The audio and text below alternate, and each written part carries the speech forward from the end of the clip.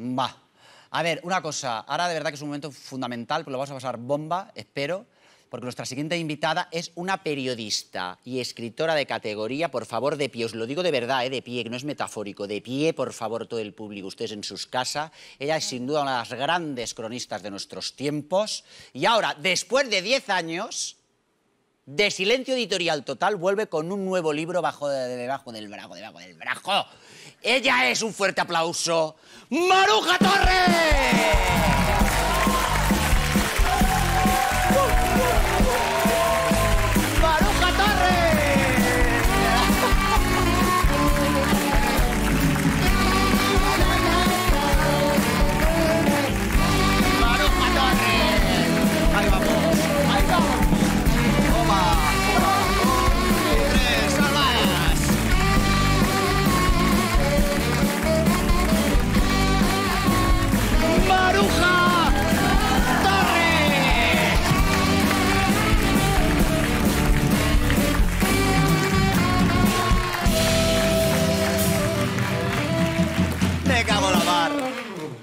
¿Cómo estás? ¿Cómo estás tú? Yo estoy fenomenal. Yo estoy bien, pero vengo con una reivindicación para empezar. Para empezar, ¿qué reivindicativa? Joder, Maruja. Sí, porque los micrófonos siempre son para, para pensados para tíos. Para tíos. Para meterse ¿Los los micrófonos? Sí. ¿Estos de petaca? La, la petaca, sí. ¿Y entonces? ¿Por qué? Tócame la teta. ¿Cómo? Tócame esta teta. ¿Que te toque la teta, Maruja? Sí, pero por el lado más duro. Hostia, Maruja. Ah, pero si tienes aquí una petaca. Pero petaca de sonido. Hemos inventado la petaca en teta. Un Hemos- aplauso. que una Escritora, periodista e inventora. Inventora. Pero, Perdona. Perdona. Lo voy a poner, ¿eh? Lo voy a Ponlo, poner en el ponlo, currículum. ponlo, Le he tocado la teta izquierda. No, la petaca te hace culo. Si la llevas aquí Ya, detrás. verdad. si la llevas en la espalda te hace chepa. Chepa que no. Si la llevas entre la muchedumbre de las tetas, no, no farré. Mira. Claro. Una de Rubens y otra de Picasso. Fantástico, exactamente, una teta cubista. Bueno, oye una cosa, eh, ah, ¿qué tal está? ¿Estás a en el libro este que vamos a hablar ahora? ¡Qué maravilla de libro, por favor! por Dios, cuando cambias de voz, Sí, sí, sí. me impresiona. Te impresiona, ¿no? Te sí, sí, sí, sí, sí. Yo también a veces cambio de voz y digo, sí. "Ah, ¿qué ha pasado aquí? ¿Qué ha Sí, pasado aquí?". sí, ¿con quién vivo? Sí, Una cosa, en este libro tú hablas de que no hay que atortugarse. Claro, y por eso yo te dije un cojín, Cojín, pero no pero no hace puedes- falta, no hace porque falta. estas butacas son compasivas. Así como te digo lo de la petaca, te digo lo de la Bueno, butaca. el- y entonces, el atortugarse, ¿qué sería?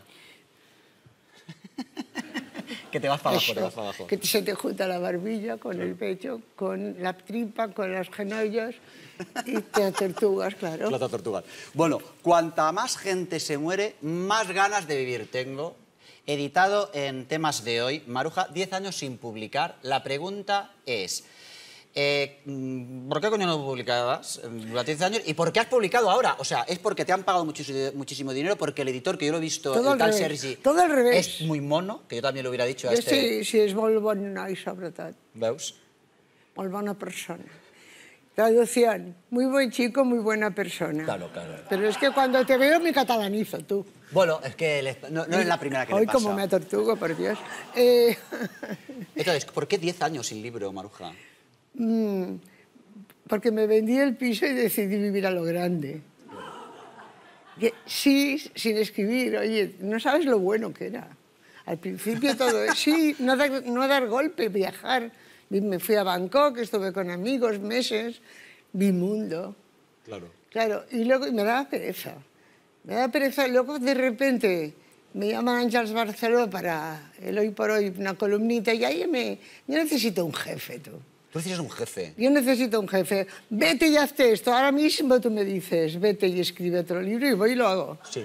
Sí, sí. Bueno, pues si quiere, yo qué sé, eh, ¿te imaginas? Que te digo, me- vete, hoy salgo corriendo y me tenéis que ayudar otra vez. Oh, fantástico. Eres un jefe. Entonces, claro, es verdad que Ángel Barceló mm, Me estimula con estimula, eso. Jordi Évole. Jordi me entrevista generosísimamente. Y te pone en y órbita me otra pone vez. en órbita y los jóvenes me descubren un poco. Te descubren un poco.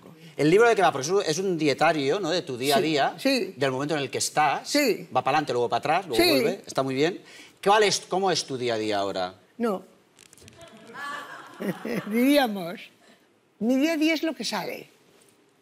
Es decir, hoy estar contigo, mañana con el otro, luego estar conmigo, no hacer voces como la tuya, pero unas cuantas sí, y interesarme por todo, cabrearme por muchas cosas, ser todo lo feliz que pueda y aprovecharme del ratín que me quede. Esto funciona, ¿no verdad? Esto no funciona para Esto es- nada, es- hija es- mía. es ni puro- para lo uno ni para es lo puro otro. showing up. Vaya, Para, lo uno, para lo uno no, y para lo otro raspa que te cagas. Raspa que te cagas. Es verdad. Creo recordar. Creo recordar. Bueno, el, el libro, eh, el título es macabro, pero al fin y al cabo es alegre. Es macabro. Es macabro el título, en me el encanta, pero en es el fondo es, es- es sincero, ¿no? Tú en el libro eh, expresas una- una- un deseo, otro deseo que tú tienes, que es una cosa que no sé si la has llegado a, a- a conseguir, que creo que no, pero que es eh, perseguir un cura. Bueno, cosas que me gustaría hacer antes de morirme, por Sí, por ejemplo. Perse- perseguir a un cura a gorrazos. Agorado. O un obispo, incluso dices. O un obispo, lo que sea que lleve faldas. A mí solo me gustan los queer con faldas. Exactamente. O sea, los otros, los que nos castigan con su intransigencia. Encima faldas. La que nos... Exactamente. ¿Pero qué es esto? Te digo una cosa. ¿Sostenes también? Por favor, que se abran las cortinas porque tenemos aquí... Un obispo. Para cumplir... Que se abran las cortinas porque efectivamente tenemos un obispo. ¿Es, ¿Es de verdad o de cera? No, hombre, es de verdad, es de verdad, es de la diócesis de aquí que nos ha tocado. ¿Quieres, perseguir, luego, ¿quieres perseguirlo ahora o luego? Tal como estoy de sentadita y bien, Sí. casi que después le... Que se espere, no, Que se exactamente. espere y luego tengo el bastón por ahí colgado. Pues muchísimas gracias, ¿eh? Eleva- te va a esperar para que le Vamos a persigas. elevarlo. Exactamente. Maruja, este- ¿Puedo beber de aquí? Puedes beber, yo también voy a beber. Vamos a beber. Bueno, tú ahora vas un poco que si el bastón, que si patatín, que bien, ¿no? Voy bien, voy tirando. Hago gimnasia tres veces por semana. Claro. Lo recomiendo a todo el mundo, sobre todo a los mayores. Gimnasia de fuerza. De fuerza, ¿eh? De fuerza. De fuerza, de fuerza. Y el, eh, pero tú, ah, sí, ah, de hecho, sigues viajando, ¿no? Eh, Sí, sí, claro. Y es verdad que tú, antes de coger un vuelo, por ejemplo, miras, eso lo cuentas en el libro, un vuelo de avión, ¿eh? De toda la Eh, Miras películas de catástrofes aéreas, ¿cómo? Porque me- estoy segura de que no me pasará nada si veo una película de catástrofes antes. Y si me pasa, sabré lo que no tengo que hacer. No puedes estar nunca al lado de la monja que, toca- que toca la guitarra.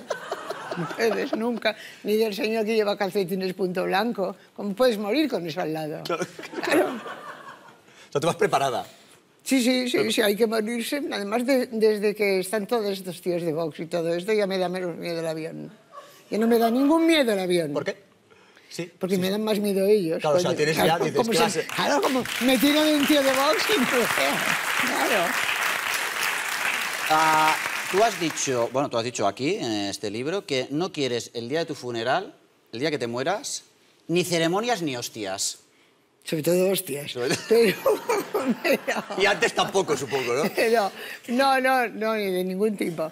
Pero no, no, es que me- me- nada me apetece más en el sentido de que no me apetece nada, tampoco, morirme, pero si me muero, que ocurrirá eh, por la puerta de atrás, nada ni de ceremonia, ni de discursos, ni de nada. Y una cosa, y tú has contado ah, ah, dos maneras de, de- de cómo que te- el, el funeral o el ritual final hay lo que quieren que hagan con tu cuerpo, dos formas. Una sale en el libro que tiene que ver con una cosa de jarrones, jarrones. Sí, no, chinos. eh, se me ocurrió una vez, pensé, eh, qué bonito sería, porque son muchas cenizas al final. al- Cuando murió Terence Moy estuvimos repartiendo cenizas y se sabe el tiempo. Entonces... eh, Sí, da para mucho, da para mucho. Da para muchísimo. Y además no sabes ni siquiera si son tuyas. Claro, porque es como la máquina de picar carne, siempre queda algo del día. Y se van acumulando, se van acumulando. Bueno, vete a saber, a mí me da igual. Pero entrar en muchos almacenes chinos a la vez, todos mis amigos, no aquí, Bazares, bazares. ¿no? Tiendas. Bazares, Sí. bazares de estos. Y, y ir a la sección de jarrones. Ir metiendo tus cenizas. Claro, claro. Y menudo pero- y susto. repartidos por toda la península, por toda... No, no, no, por un par de barrios. Tampoco, par de barrios tampoco pasemos, ¿no? Tampoco, Muy bien. tampoco. No, no, que luego además si es verano pasa mucho calor. No. Pero luego hay otra, hay otra cosa que has contado tú que quieres que hagan con tu cuerpo, que nos la ha contado Marta Flitch, la compañera y amiga Marta Flitch. ¿Cómo es? ¿Cómo es? cómo es. ¿La quieres contar o...? ¿La puedo contar? No, pero fue en un, en un acto multitudinario que, que estábamos donando órganos o algo así. No en directo, pero firmando papeles para donarlos. ¿no? Yo ahora ya no tengo órganos que donar, pero en ese momento quedaba alguno. Y la otra persona dijo, Ay, a mí me daría mucha vergüenza que, que el- los estudiantes me descuartizaran y me vieran la cara. Y entonces tenía ganas de provocar.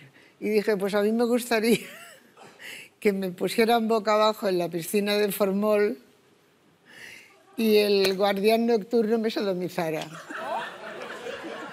Y, y verdaderamente media Cataluña se quedó aterrada.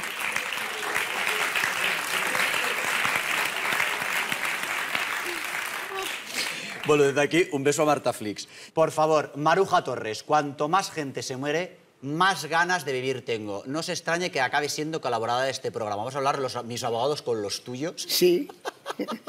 y los suyos. y los de to- y los Y suyos. los obispos, sí. Maruja Torres, brava. Gracias. Si quieres